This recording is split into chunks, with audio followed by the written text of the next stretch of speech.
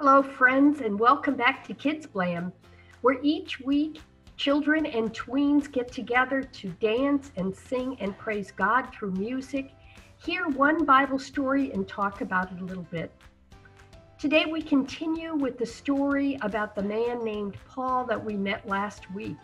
You may recall that last week Paul was acting like a bully. And then Jesus shone his light down upon Paul, and Paul was forever changed. Paul became a follower of Jesus and a leader of the uh, other followers of Jesus. I also brought this basket. In the story today, Paul is going to have an experience with a basket that is very unique. I hope you like it. But before we hear the Bible story, let's get up and sing All Are Welcome. Be sure you watch the dance moves of the Deep Blue Kids. See you in a few minutes.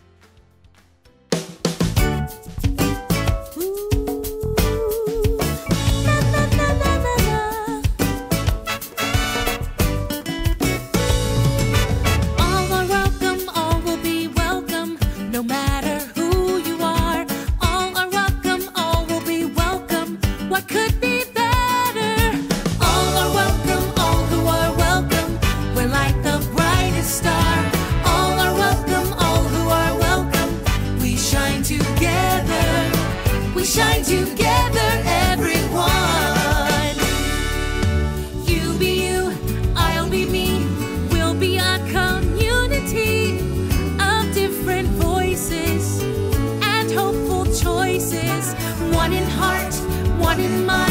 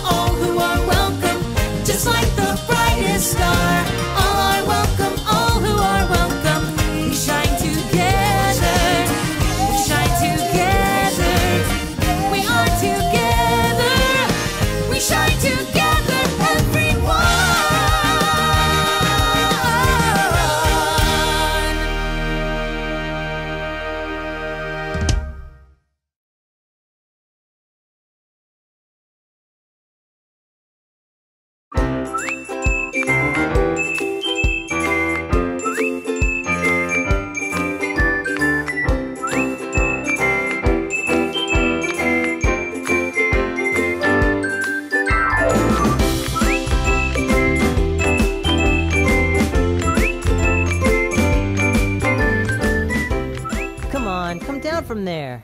Here, kitty, kitty, kitty. Is that Cinnamon? I think so. It looks like him. I wonder if Cat knows he's here. Hi there, kids. What you looking at? It looks like Cinnamon found a nice view of the park. What do we do? I guess I'll need to try to get him down. I don't have my ladder with me, but maybe I can climb up there and reach him.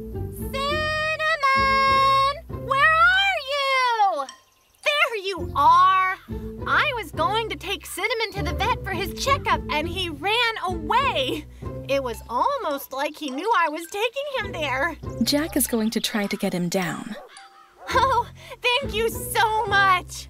I wish I had a basket to lower him down in. Kids, I think there's a story about the Apostle Paul who had to be saved by being lowered down a city wall in a basket. Not long after Paul was visited by Jesus and his eyes were opened, Paul began preaching in the synagogues. Paul told the people, Jesus is God's Son. The people were confused because Paul used to be mean to the followers of Jesus. Now he was preaching the good news of Jesus. Paul continued to preach and teach the people that Jesus is the Son of God. But there were some people who didn't trust Paul and wanted to hurt him. They waited for him at the gates. When Paul found out what their plan was, he decided to leave the city. But Paul needed help. His friends came to help him. Paul's friends put him in a basket and lowered him down the city wall.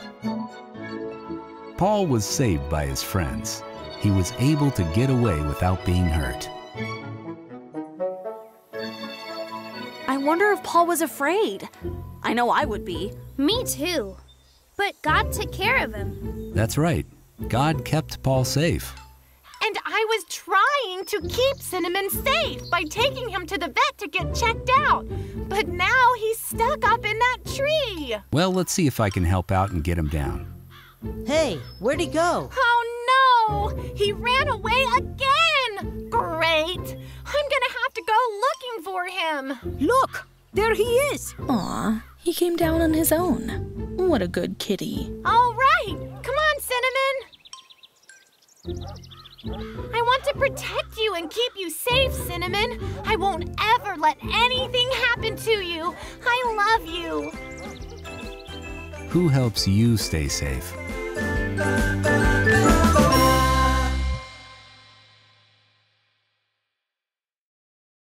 Did you see the basket in the story?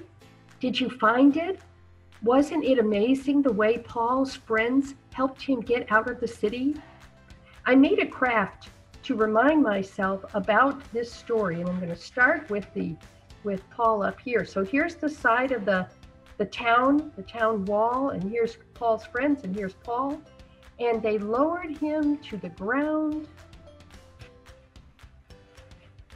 so that he could get away, right? Now, I don't think this sounds like a very safe thing to do. And so I don't want to hear that any of you put your head out a window or got in a big basket. But if you're like me and you like crafts, let me know. Ask your parents to email me and I'll send you this craft. Right now, let us fold our hands and bow our heads and close with prayer. Dear God, we thank you for the example of friendship that Paul's friends provided. We pray that you will be with each of our friends here in Blam, in our community, in our country, and in the whole wide world. Please keep them safe and healthy. Amen. I'll see you next week.